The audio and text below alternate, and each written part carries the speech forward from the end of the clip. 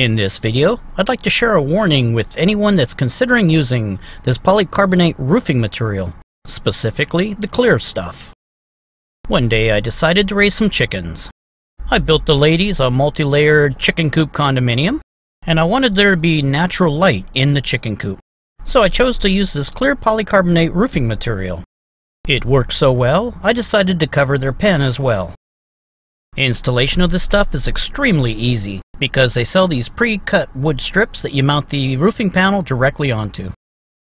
During the heat of the summer, I covered all this roofing material with a sun-absorbent mesh. This is to keep the girls cool, and I never had any problems with the roofing material. Well, eventually we moved out of the chicken phase, and we just used the coop for storage. This week I went up to do some maintenance on the fence. When I looked down at the top of the chicken coop roof, I saw these black bands going across it. Now what in the world could that be? Closer inspection revealed these to be burn marks from the wood below.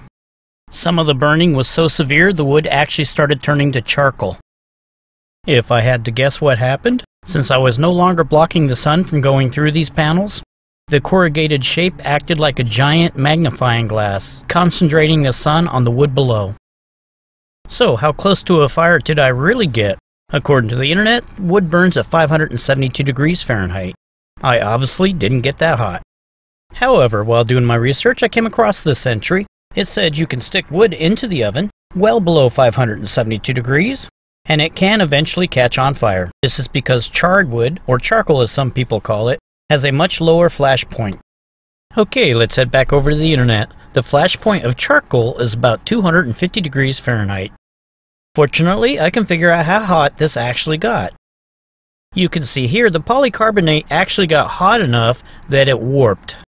The temperature required to start warping polycarbonate is 147 degrees centigrade, which converts over to 296 degrees Fahrenheit. This temperature is higher than the 250 degrees required to ignite charcoal. To finish this up, this could have very easily been the result of simply the roofing material that I picked and I will not be using this panel in future construction projects. So everyone go out and inspect your chicken coops today, and thanks for watching.